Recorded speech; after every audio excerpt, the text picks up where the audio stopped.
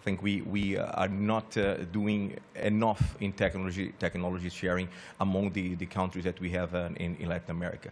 So from that perspective, it uh, would be great to have this kind of discussions, but translate these discussions also in actions where uh, technology and innovations are also shared among the countries in Latin America.